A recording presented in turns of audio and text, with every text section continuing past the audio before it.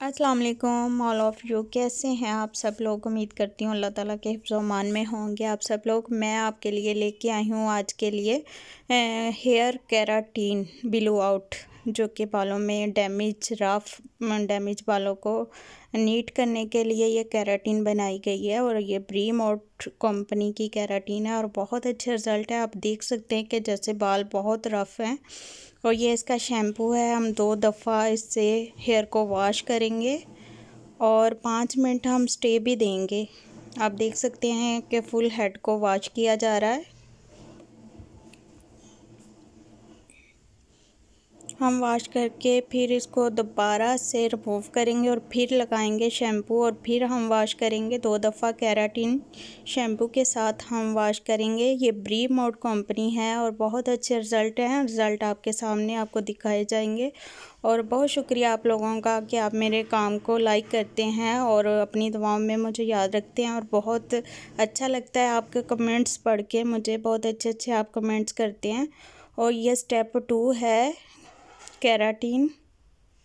इसको मिक्स करेंगे। हमने इसके अंदर कोई चीज़ नहीं डालनी।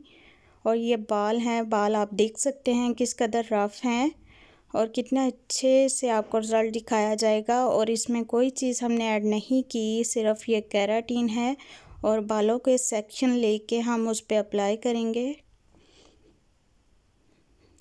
और देखें आप गौर से गौर से देख सकते हैं कि हमने हैंड पे ग्लव्स डाले थे और ग्लव्स डाल के फिर हम ब्लेंडिंग कर रहे थे। ये हमने सारा मटेरियल लगा लिया है बालों को और हेयर ड्राई के साथ यानी गर्म हवा देंगे और फिर गोल ब्रश के साथ हम बालों को जो प्रोडक्ट लगाई थी उसको ड्राई करेंगे।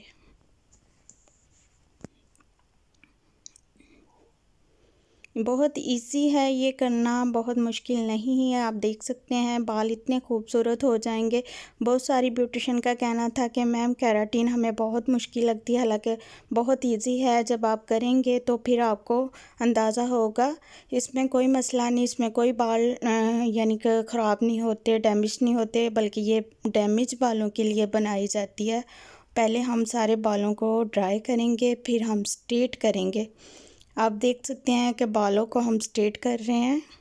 जैसे हमने सेक्शन बनाए थे, वैसे ही हम स्ट्रेट करते हुए भी सेक्शन लेंगे।